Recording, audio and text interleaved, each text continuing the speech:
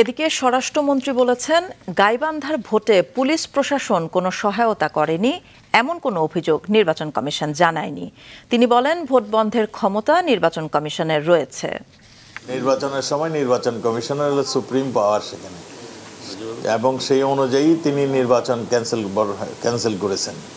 এবং কেন ক্যান্সেল করেছেন এটার উত্তর তিনি জানেন। উনি আমাদের এখানে কিছু বলার নেই।